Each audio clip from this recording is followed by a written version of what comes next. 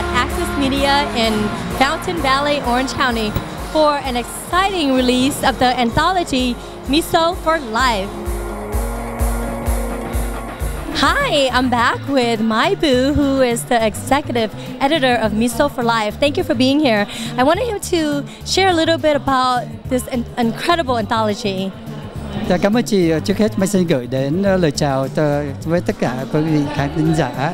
Um, hướng Miss of Life là một cuốn thứ nhì trong cái tờ, một một cái series của uh, Melting Pot of Thought. Tại sao là Melting Pot of Thought? Là bởi vì cái cuốn sách này là nó viết bởi không những là chị người Việt Nam mà là người cộng đồng Á Châu là mình có Đại Hàn, mà mình có Nhật Bản, mà mình có người Filipino, Hawaii, Pacific and, and, and và so on.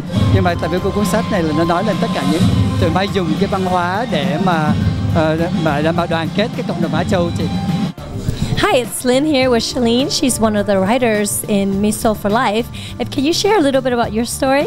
Sure. My story is called A Quest to Find True Love, and it's basically a girl's journey in finding what true love is and starting out when she's a young girl and maybe love through the eyes of her parents and then evolving as she experiences heartbreak herself and finding out more about the lessons of love and then that's kind of a time of wisdom when you know when you find out that love is really something that's inside of you first, and then um, that's really like the infinite, ultimate love, at least in what I wrote about. Yeah. Oh, that's beautiful, and I'm sure it has a happy ending, right? Yes, of course. I love happy endings.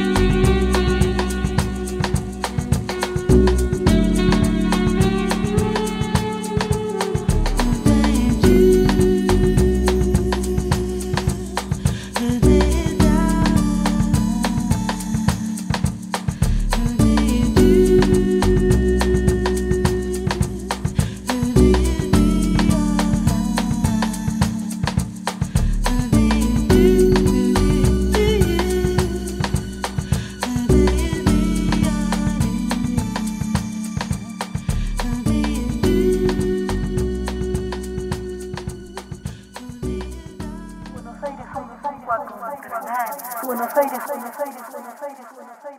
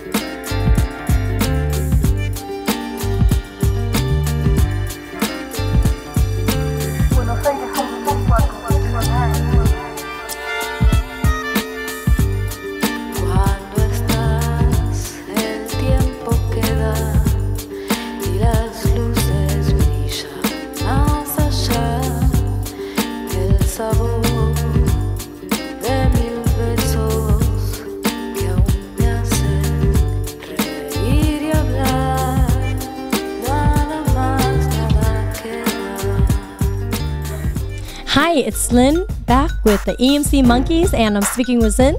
Thank you so much for being here tonight. Uh, you guys are awesome. I saw your clip with uh, the project Purgatory Beijing. Now, tell me a little bit about that because it's a lot of headshots. Oh, well, yes, it was a lot of face shots. I mean, headshots. yeah, Project Purgatory Beijing was a, a, a, video that we worked on trying to uh, promote the team a little more, showing our, our martial arts expertise and our choreography skills. And uh, we got to work with a lot of cool people. Uh, Malai was actually uh, the main choreographer on that. And um, so you can thank him for all the face shots, I mean, headshots. yeah, I like how you kill the zombies. You just go straight for the head, like no messing around, right? That, that's that's the rule. You, you gotta you gotta kill them fast before they get you.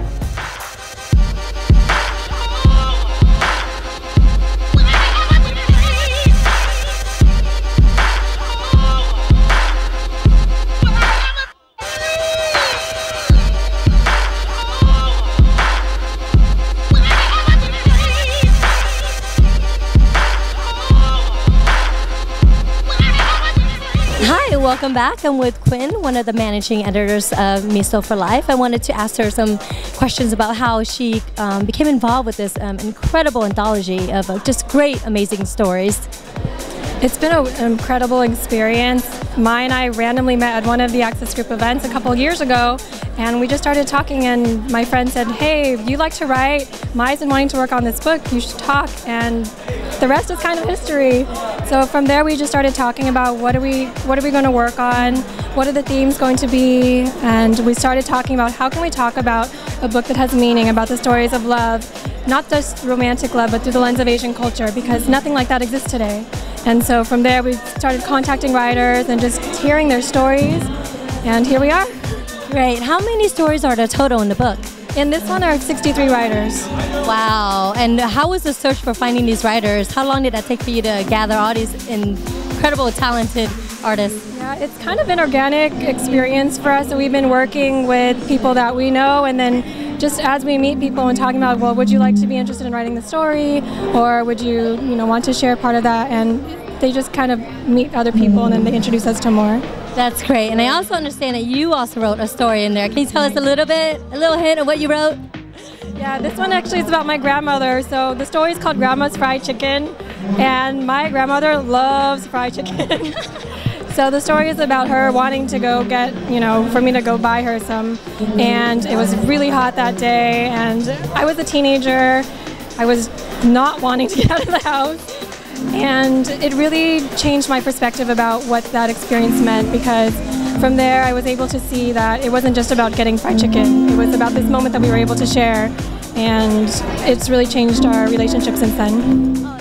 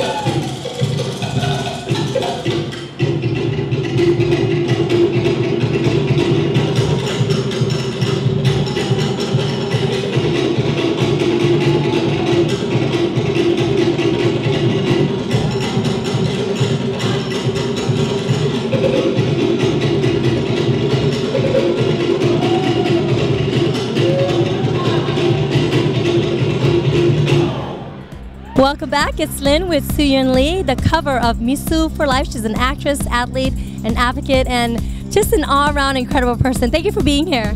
Thank you so much. It's such an amazing event. I'm so honored to be uh, uh, chosen as the cover girl of Miso for Life. I, I, thank you so much for um, supporting this event.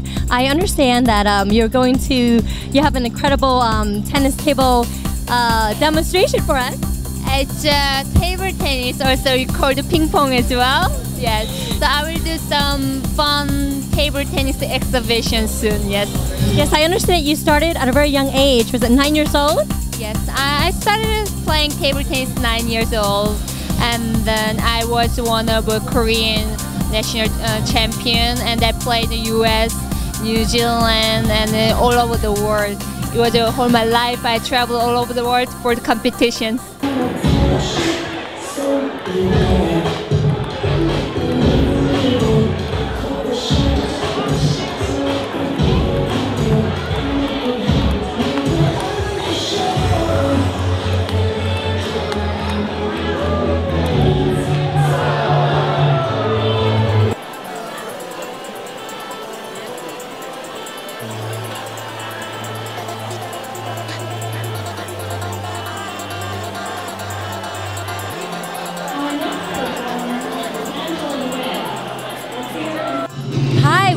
with Larissa Lamb.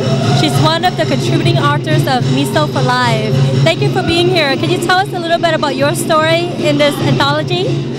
Well, I was asked to write a story about uh, what it was like to be an artist influenced by my and how my parents were involved in. My father was actually very encouraging to me, even though my grandfather wasn't, and so encouraging to my father, I should say. So it's kind of like a three generational story, and hopefully it'll inspire some other people. That's amazing. So it's about your experiences as your childhood and your family. Yeah, it's about my childhood, and it's also my dad coming from uh, China over to the United States, and um, kind of the sacrifices he made so that I could be doing what I'm doing now. Oh, that's wonderful. And I understand you're also a singer songwriter. Yeah, I'm a singer songwriter. I've been doing music for a while. i am working on my fourth solo album now called Love and Discovery, and uh, it's a collection of songs. There's some dance music, some soulful pop, some uh, some ballads. It's going to be a good mix of music. How exciting! Where can we look up your music? You can go to larissalamb.com. Uh, it's the best place. You can find me on YouTube. You can find me on Facebook. Awesome. Thank you so much for your support. We really appreciate you. Thanks so much. I hope you enjoyed the celebration of Asian arts here tonight at Access Media Group. Until next time, it's Lynn with Project Crosslight.